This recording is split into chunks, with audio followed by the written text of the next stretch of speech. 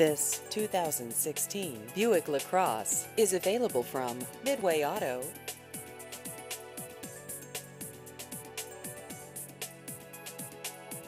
This vehicle has just over 4,000 miles.